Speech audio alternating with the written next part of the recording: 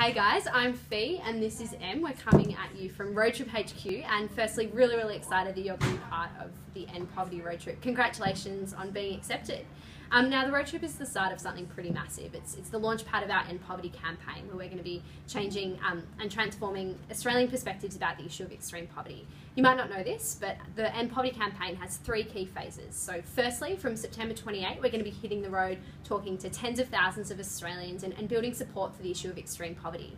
Then, on two weeks after the road trip, on International Anti Poverty Day on October 17, we'll be hosting events with tens of thousands of Australians. We're producing a documentary right now, and we'll all be able to host events with our friends and family members, raising awareness about the issue of extreme poverty and changing the conversation.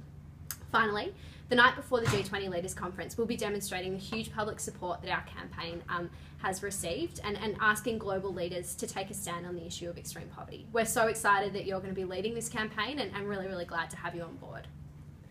Today we've uh, launched a really exciting competition and it's the first action that you can take as a part of this End Poverty campaign. We'd love to have you guys recruit some friends to come along. We've got just five days left until recruitment closes.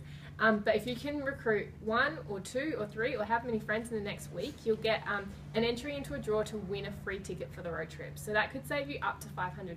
So it's a really exciting opportunity and a chance for you to start having conversations and bringing your friends into the movement to end poverty as well.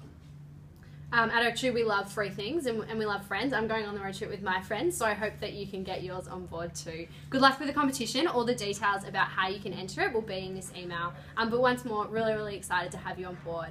Um, can't wait to meet you in Canberra.